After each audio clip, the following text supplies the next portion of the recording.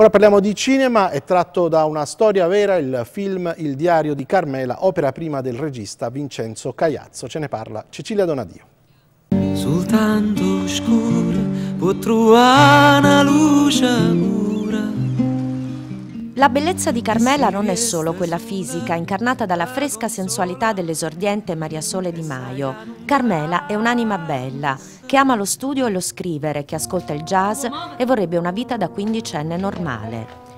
L'essere nata in una periferia degradata, in una famiglia che organica gli ambienti criminali, dove lo spaccio di droga è il lavoro quotidiano ed è la madre ad instradarla verso l'illegalità, la imprigiona insieme ai suoi sogni.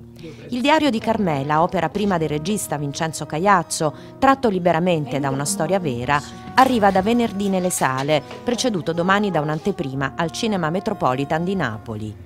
Girato nel quartiere Piano Napoli di Bosco Reale, è una produzione indipendente firmata dalla EWC 2001, un'impresa culturale che mira a realizzare opere a tematica sociale, con particolare attenzione alla devianza giovanile. Con la storia dell'innocenza perduta di Carmela racconta il disagio, spesso irreparabile, di tanti ragazzi ai quali non viene data una seconda possibilità.